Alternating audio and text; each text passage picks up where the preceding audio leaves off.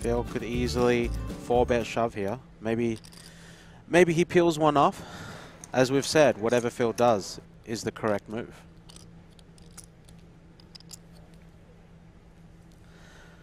Phil does make the call with the king nine suited. Ooh, here, here's the here's the six deuce ten flush draw here for Ivey versus the aces of Heath, who does not have the ace of clubs. Just the sizing is probably what he's trying to consider. Phil with 1.25.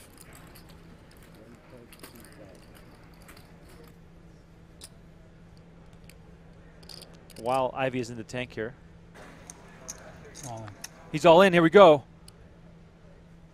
Here we go. Cool. Called. There we go. All in. Phil Ivey at risk. This could be Phil Ivey's final hand at his final table to win his 11th bracelet. And Ben Heath is trying to send him to the real club on the turn, and it is over. What an unbelievable turn card here.